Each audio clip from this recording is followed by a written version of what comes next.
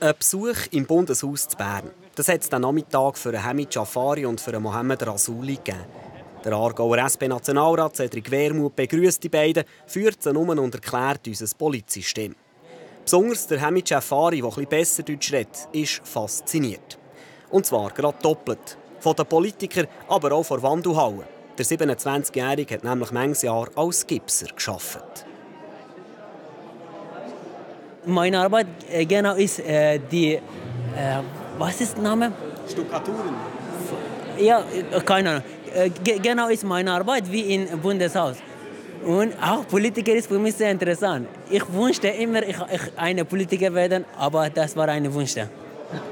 Dafür hat der Hamid Jafari einen ersten Eindruck bekommen, was Schweizer Politiker machen. Zu dieser Einladung ist es gekommen, weil der Integrationswille hier gut spürbar sei.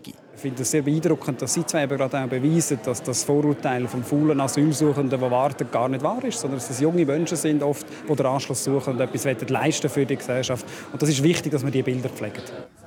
Angefangen hat alles am 1. Mai beim Fußballstadion Brücklifeld Aarau. Hier starten die beiden Männer ihre Wanderung quer durch die Schweiz. Auf den ersten paar Kilometern begleiten Kollegen aus einem Fußballclub die zwei Asylbewerber, die ihre Tour genau geplant haben, auch was die Unterkünfte angeht. Jede Nacht beispielsweise übernachten und mm, alle, alle Menschen äh, können sich sehen. Das ist möglich. Auch äh, äh die Fruchtli mit Flüchtlingen keine Angst. Auch äh, mit die, äh, die Schweizer können einfach Kontakt machen und integrieren. Wir, wir, wir, wollen, wir wollen uns integrieren. Jeden Abend lernen sie jemanden Neues kennen und kommen der Schweizer Kultur etwas näher. Umgekehrt kommt aber auch ein Stück Afghanistan in die Schweizer Stuben.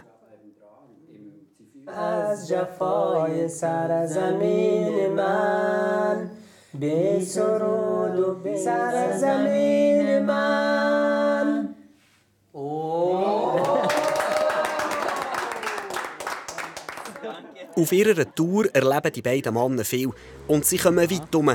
Dank der Wanderausrüstung, die sie von Leuten geschenkt bekommen haben, machen sie pro Tag 30 Kilometer. Alles in allem sind es über 1000 Kilometer.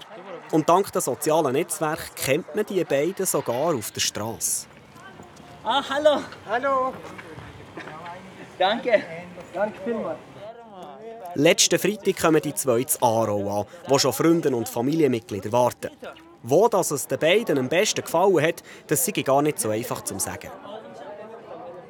Basel hat äh, fleißige Menschen und Jura ist mutige Menschen. Bern ist sehr groß, Lausanne ist gute See, Wallis ist sehr nette Menschen und äh, Tessin ist große Berge, Zürich ist sehr schön. Kann man nicht sagen, aber für mich Wallis ist, war äh, besser, weil ich, ich, ich äh, merkte, das war äh, nette Menschen. Mit diesem Besuch zu Bern ist das Wanderprojekt fertig. Was bleibt, sind viele Erinnerungen und ein Wunsch. Ich hoffe, die Flüchtlinge auch motivieren, so Kultur lernen und so Sprache. Das ist sehr wichtig, wenn sie in der Schweiz bleiben. Klare Worte von zwei Asylsuchenden, die einen Monat lang Integration auf ihre ganz eigene Art gemacht haben.